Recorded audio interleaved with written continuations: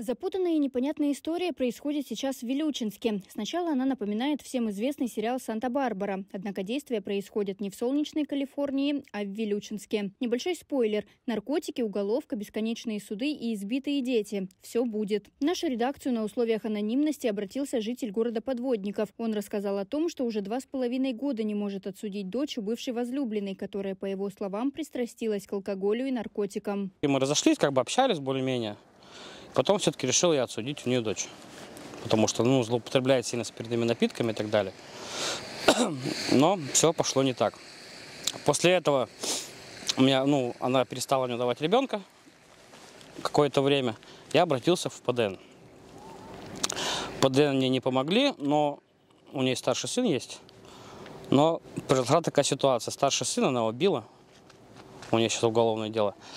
Она убила, тот ходил, рассказывал постоянно, но приходил поздно, то бишь ни синяков, ничего не было, уже зафиксировать не могли. Мне предложили пойти свидетелем. Я пошел свидетелем.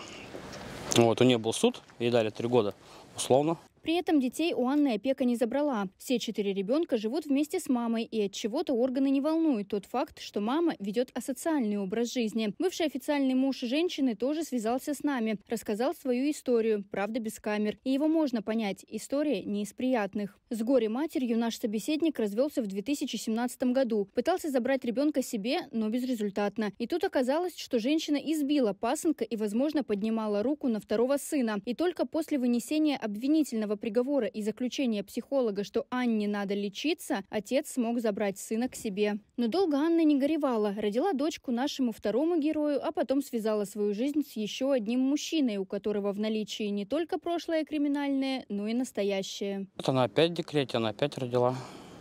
Она проживает проживала, точнее, с наркоманом, у которого четыре судимости, и сейчас он находится опять в тюрьме. То есть ребенок мой проживает тут, ну, проживал тут, проживает до сих пор вот в этой семье. О, его посадили опять за, ну, за распространение наркотиков. Как рассказывает наш герой, он уже не знает, как достучаться до сотрудников опеки и дать им понять, что с отцом при такой матери малышке будет лучше. У нас суд был, мне в суде отказали, но опять-таки из-за опеки.